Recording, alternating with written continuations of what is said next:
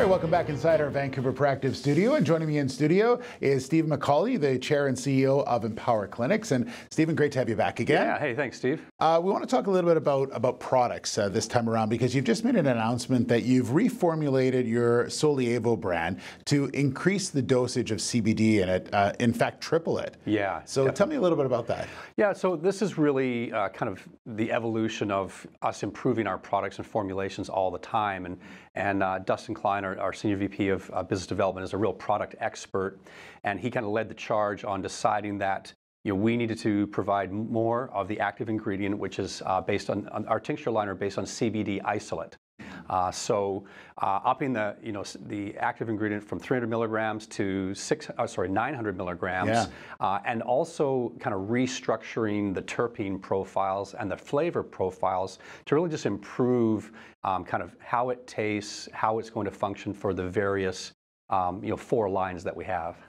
I think that we should talk about, about Dustin specifically, but also about your facility as well, because this gives you an opportunity to do a lot of, of research and development and sort of be able to allow him to do what he does well. Yeah, I mean, one of the you know byproducts of uh, sort of vertically integrating and getting this facility online is our ability to begin to attach uh, R&D or research you know at the site uh, and really start to explore uh, all of our formulations that we have active on the shelves and also the pipeline of formulations.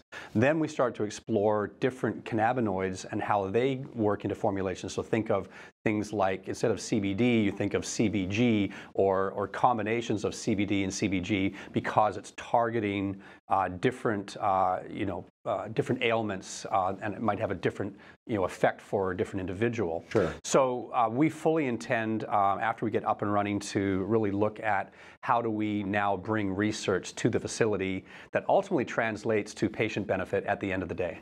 And we, we've talked about uh, Sandy, Oregon, because that's where uh, your facility is going to yeah, be located. The first one, yeah. The first one, yes. And also about having a, a, license as well. And talk a bit about the importance of having that license. Yeah, so uh, you know the regulatory framework you know in this industry is getting tighter and tighter all the time.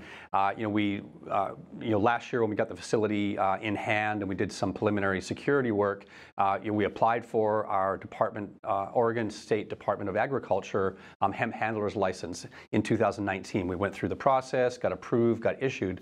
So uh, when we went into 2020, we immediately, you know, resubmitted, which we have to do each year, yeah. and you know, just smooth sailing. Uh, we we got the, the the new license issued and it's in hand, but it's important to understand that this is an absolute imperative to operating.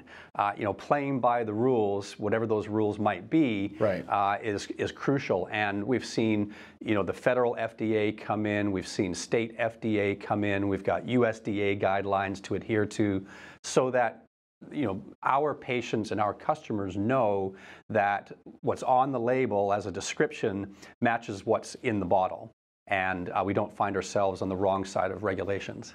Now we mentioned uh, that you you reformulated Sollievo. What about new products, uh, different kinds of products? Is that something we'll see more of coming in the future? Yeah, um, very soon. You know, we're you know we're in the midst of uh, really just thinking about what you know what we bring to market next. Um, we have you know an inventory of uh, formulation intellectual property that we own. Yeah. Uh, and that ranges from things like topical lotions to patches to sprays to sublinguals and so on and so forth. So we will fully anticipate um, getting those types of products you know, out to market uh, when the time is right. Uh, our goal is to get the post-production equipment in the facility uh, up and running very soon, and then we'll immediately start bringing that production in-house rather than using our third-party uh, GMP labs that we currently use today. Right, obviously save money. Uh, well, it's it's it's definitely saved money. I think it's also about really controlling our own destiny mm. uh, and knowing exactly what that end product um, looks like in the bottle because we're the ones actually doing the extraction, we're the ones doing the formulating, the bottling, uh, whatever the case may be. So we know um, through all of our uh, testing of the raw material, the product itself, that what's on the shelf is a product that we can stand behind. There you go. All right, Steven, great to see you. Thank you Thank again. you. Yeah. All right, Steve McAuley, Chair and CEO of Empower Clinics.